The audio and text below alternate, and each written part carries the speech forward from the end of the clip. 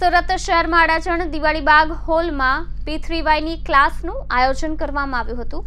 મોટી સંખ્યામાં લોકો જોડાયા હતા. ગુજરાતના સુરતમાં દશેરા પી થ્રી વાય મહોત્સવ કાર્યક્રમનું આયોજન કરવામાં આવ્યું છે.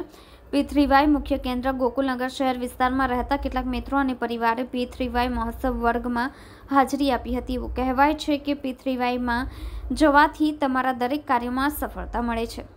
વિજયાદશમીના પાવન અવસર પર વિશેષ ક્લાસ યોજવામાં આવી હતી. વધુમાં પીથરીવાઈના પ્રવક્તા ડૉક્ટર અજીતે કહ્યું કે તમને પીથરીવાઈથી શક્તિ મળશે. દિવાળી વધુ પ્રકાશ લાવશે પરિવારમાં ખુશીઓ વધશે. આજે અડાજણ ખાતે આવેલા દિવાળી બાગ પાસે સુરત મહાનગરપાલિકાના કોમ્યુનિટી હોલ ખાતે પીથરીવાઈની ક્લાસનું આયોજન કરવામાં આવ્યું હતું. કેમેરામેન હકીમ શેખ સાથે વસીમ હાસમીનો રિપોર્ટ આઝાદ ન્યૂઝ સુરત.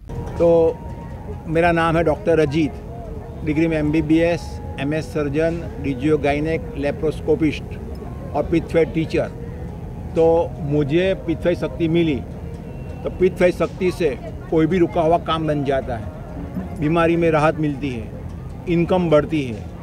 ये तीन चीज़ मुख्य है और अन्य तीन चीज़ों में बच्चे पढ़ाई में होशियार बनते हैं और अच्छी कैरियर बनती है। व्यसन छूटता है और परिवार में आज के क्लास में सुख सुख शांति सुख सुख शांति सुख शांति बढ़ते हैं। है, तो ये प्रोडक्ट मिलती है। तो मेरा मिशन ये है कि जैसे मुझे लाभ हुआ वैसे सभी को लाभ हो सभी परिवार सुखी हो तो यह मिशन पृथ्वी का है।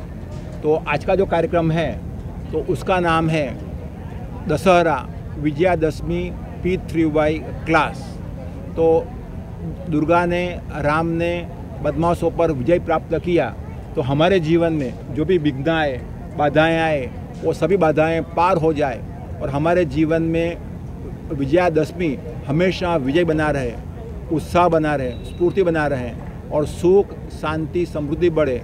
तो ऐसा कार्यक्रम उसको बोलते हैं विजयादशमी पी थ्री वाई महोत्सव। पी थ्री वाई शक्ति प्राप्त करने के लिए क्या करना चाहिए? तो पितृवय शक्ति एक निराकार तत्व है। वो प्राप्त करने के लिए एक तो आज का क्लास जो होगा, वो क्लास अटेंड करना पड़ेगा। और गुरुवार को सुबह सात बजे गोकुल नगर, सूरत में अम्बा नगर में, P three Y main centre पर इनकम वृद्धि क्लास होता है तो वो क्लास अटेंड पर करना पड़ेगा। दूसरा, क्लास में जो भी सिखाया जाए, वो रोज़ करना पड़ेगा। और तीसरा, एक परम नाद, छोटी सी क्रिया है